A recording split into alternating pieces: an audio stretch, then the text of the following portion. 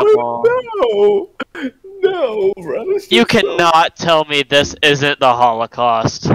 Hey, bro, get away from that shit. You see the eyes are turning fucking black? Yeah, but like, tell me these kids aren't Jewish.